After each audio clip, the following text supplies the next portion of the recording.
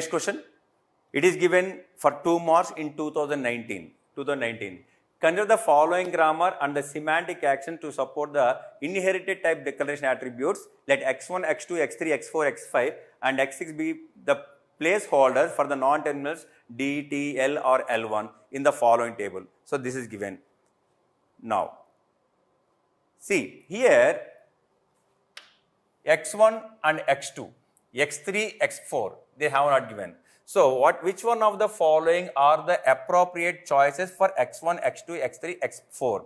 So, here the question is question is the following grammar semantic actions support the inherited type.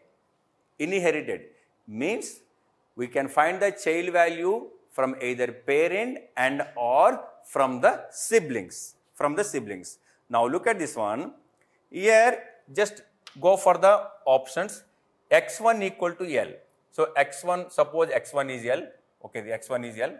Then x2. What is x2 given? T. So L the child value here child value child value we can find the child value can find from its siblings or from its uh, under from its parent. So x1 is here given as L and x2 is given as t.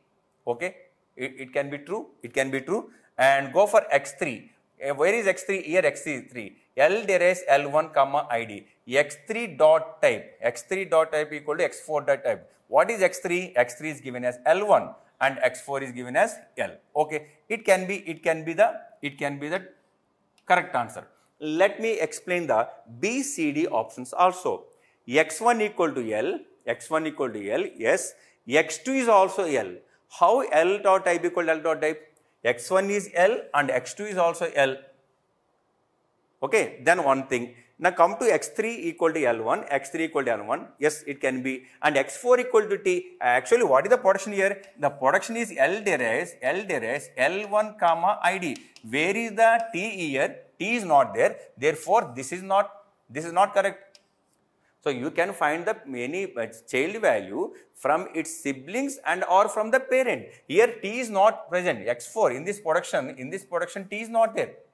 Then how can we find, we can take X4 as T. That is the reason this is not correct.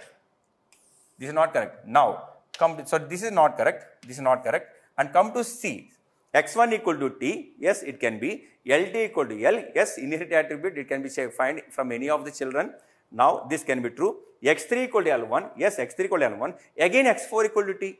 Again, how T came? As there is no production, no T in the production, so this is also not correct. Now come to D, x1 equal to T, yes, it can be, x2 equal to L, yes, it can be, then x3 equal to T, again x3.